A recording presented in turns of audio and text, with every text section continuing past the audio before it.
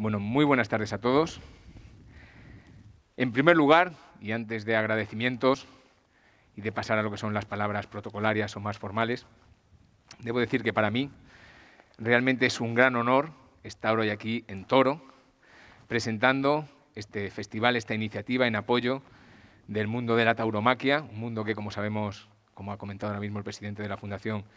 está siendo puesto en cuestión, vilipendiado en algunos casos, pero que, eh, nadie lo puede dudar, forma parte de una de las identidades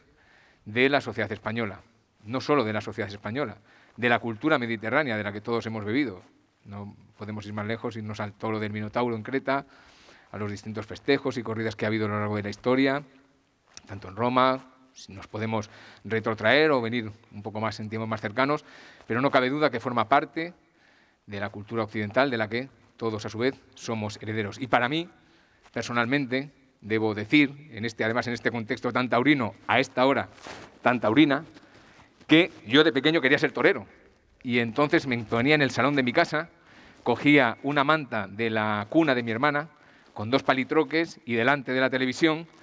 me ponía a torear imitando a lo que eran los toreros. Y uno de mis, de mis eh, héroes era el niño de la capea, era el que yo más, más afición le tenía. Entonces, el estar hoy aquí como, consejera como consejero de Cultura y Turismo de la Junta de Castilla y León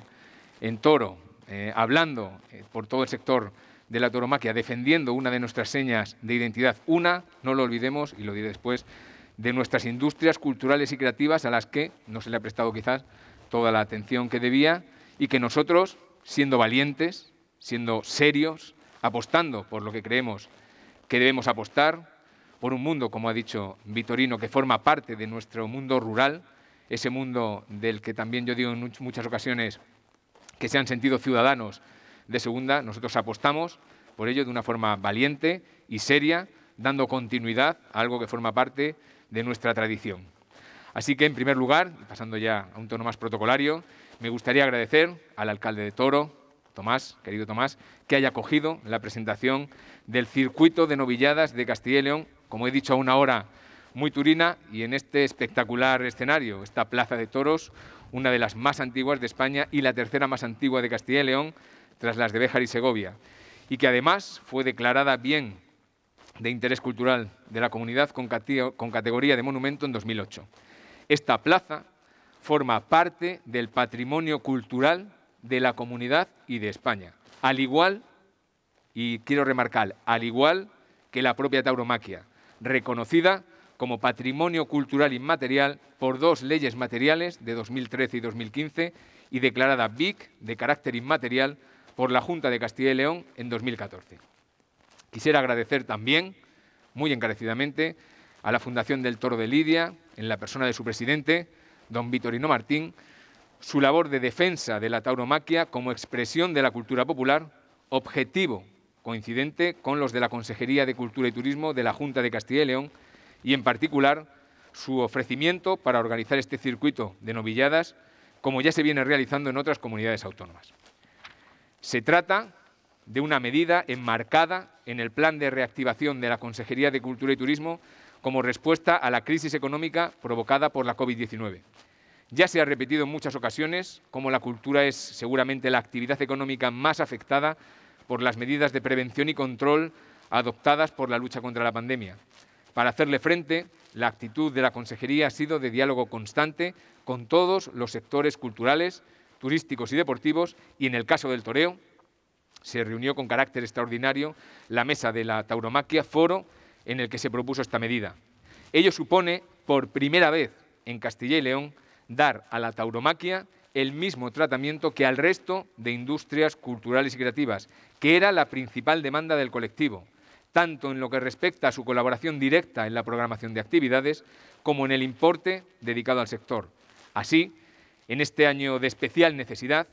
hemos realizado un importante esfuerzo en este sentido, multiplicando por ocho las cantidades que se venían destinando en años anteriores. En este caso, la subvención ha sido de 326.000 euros. La importancia de la tauromaquia en nuestra comunidad, desde el punto de vista cultural, es enorme, ya que contamos a lo largo y ancho de nuestra vastísima geografía con multitud de manifestaciones en forma de festejos populares y también por su reflejo e influencia en las demás disciplinas, desde la literatura hasta la música, pasando por las artes gráficas. En todas ellas hay numerosos ejemplos de obras y autores que han encontrado su inspiración en el mundo taurino y actualmente sigue estando vigente en el ideario estético de jóvenes artistas. Podríamos hablar de Goya, de Picasso, o podríamos hablar también del pintor Valdepeñero, ya que soy de Valdepeñas, de Gregorio. Asimismo, la tauromaquia constituye un pequeño refugio de antiguos oficios y conocimientos tradicionales como el repujado del cuero, los bordados o el arte de los herreros. Y no se puede diseñar, como ha comentado además Victorino, su relevancia económica en la comunidad ni su valor ecológico, contribuyendo a fijar población en el mundo rural fundamentalmente a través de la ganadería de Bravo. Este circuito de novilladas, también lo ha comentado el presidente de la Fundación, persigue una doble finalidad. Contribuir a paliar, en primer lugar, aunque de manera modesta, somos conscientes que aunque sean cantidades que a todos nos pueden resultar al pronunciarlas de una cuantía importante, pero somos conscientes que nos gustaría dedicar más. En estos momentos la situación es la que es, nosotros hacemos ese esfuerzo y lo que sí también quiero decir es que intentaremos en próximas ediciones, porque esto esperemos que no sea flor de un día, sino que tenga continuidad en el tiempo, como digo, aunque de manera modesta, los efectos de la crisis en los distintos estamentos del sector. Por otro lado, contribuir a la formación de los futuros profesionales taurinos, ayudando a cubrir la etapa desde que egresan en la escuela de tauromaquia hasta la toma de la alternativa como matador de toros, en la que por diferentes razones es especialmente difícil completar el número mínimo de novilladas exigidas. Se van a celebrar dos novilladas con picadores para los seis novilleros más prometedores de Castilla y León, así como el circuito de nueve novilladas sin picar, que será una competición en tres fases. La primera, compuesta por seis festejos, en cada uno de los cuales intervendrán tres novilleros y dos ganaderías. Los seis novilleros triunfadores en cada uno de los festejos de la primera fase pasarán a dos semifinales y los tres mejores a la final. Por tanto, habrá nueve novilladas sin picar, con la participación de un total de 18 alumnos o exalumnos de las escuelas taurinas. El jurado estará formado por personalidades de reconocido prestigio, nombrado por un comité con representantes de los distintos subsectores taurinos, de la Fundación del Toro de Lidia y de la Junta de Castilla y León. Los novilleros han sido seleccionados de entre las escuelas de tauromaquia de la comunidad, en proporción al número de alumnos de cada uno de ellas y al nivel de preparación de los mismos. Así,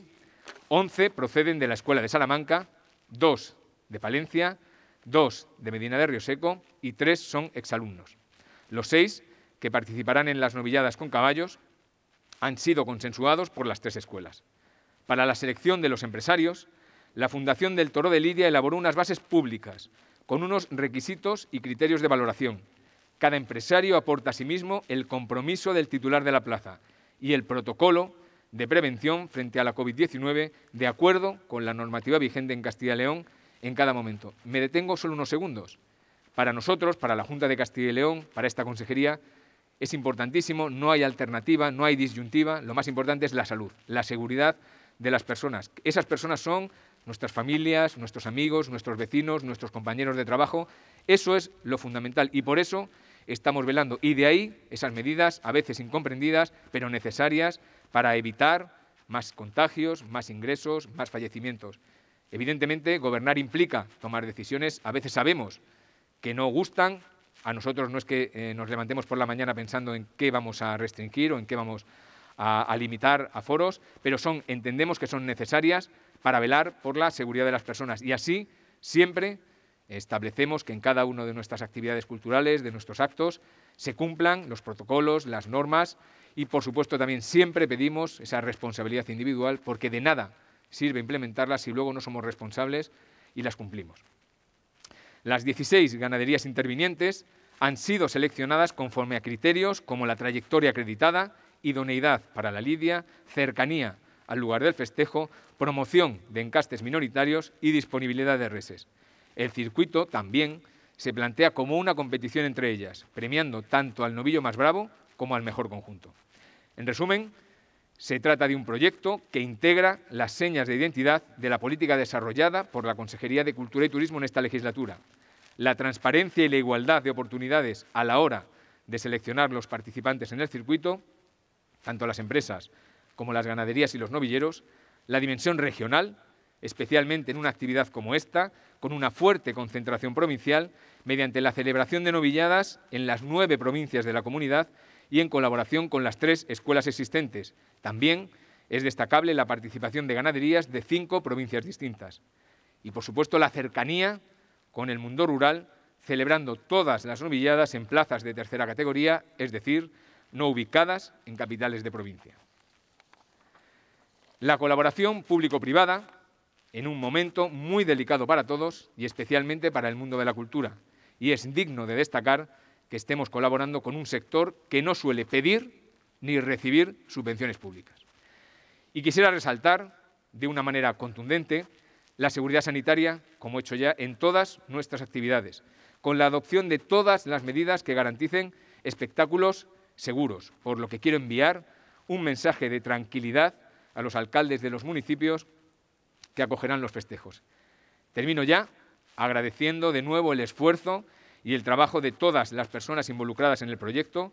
pues somos conscientes de que han tenido que enfrentarse a múltiples dificultades y reticencias derivada de la coyuntura que estamos atravesando. Por supuesto, no lo he hecho al principio, saludar a todas las autoridades, delegada, querida Clara, representante de la Diputación, secretario general, procuradores, amigos todos, y en especial me gustaría agradecer muy cariñosamente al secretario general de la Consejería de Cultura y Turismo, don Gregorio Muñoz, por el esfuerzo, por la dedicación, por el amor, por el tiempo que ha dedicado a la preparación de este festejo. Y, si me permiten, pedir aquellos que tienen responsabilidades a ver si creamos una categoría senior para darle la alternativa, porque tiene todos los elementos para triunfar en el mundo del toreo. Por fin, como digo, deseo suerte a los contendientes, de modo que alcancen ese sueño de convertirse en matadores de toros y a todo el mundo de la tauromaquia para que entre todos, siempre lo hemos dicho, entre todos, consigamos sortear esta crisis con el menor daño posible. Muchas gracias.